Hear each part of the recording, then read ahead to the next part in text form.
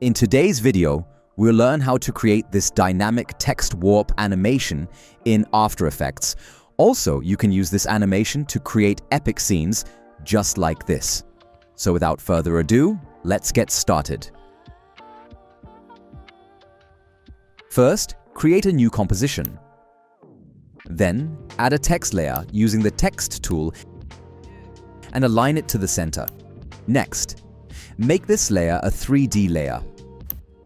And make sure you've enabled the classic 3D renderer, otherwise this won't work. Now, open its rotation properties and tweak the X, Y, and Z values to get this kind of look. Then, adjust the text position like this, so it's perfectly centered. After that, add a new solid layer. This will be our background layer. Now, select the first text layer and duplicate it. Change the second layer's color to black.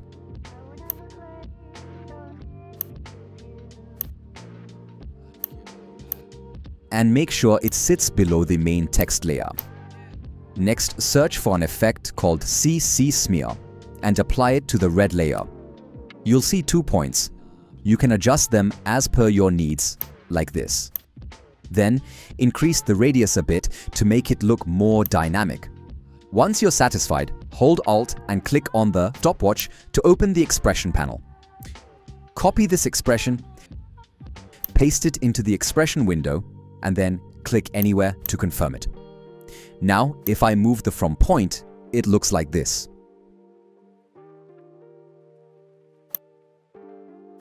To animate this, add a keyframe on the from value and adjust the point's position. Then move the time indicator and change the point's position again.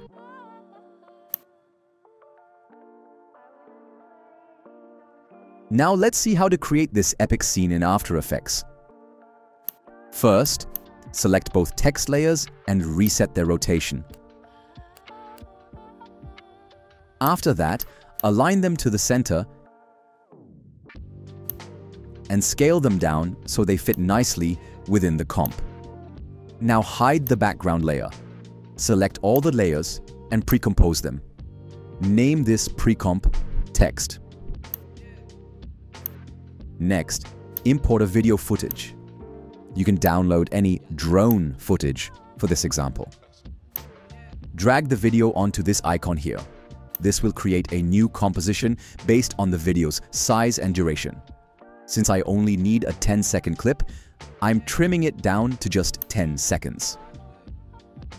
Now, go to Window, search for the tracker panel, and click on it. Once the panel shows up, you'll see an option called Track Camera. Simply click on it. After you click, After Effects will start analyzing your footage. This may take some time. Once it's done, you'll see lots of tracker points over your video. Now, carefully select a point that works well for your scene. In my case, this position is perfect for the text, so I right-click and choose Create Solid and Camera. This will add both a solid and a camera layer to your timeline. Now, select the solid layer hold Alt, and drag your text pre-comp onto the solid to replace it. You can now close the tracker panel.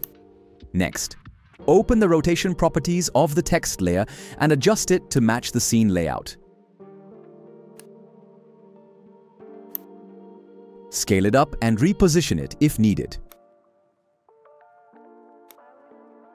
Now I'll change the text color to white to make it blend more naturally.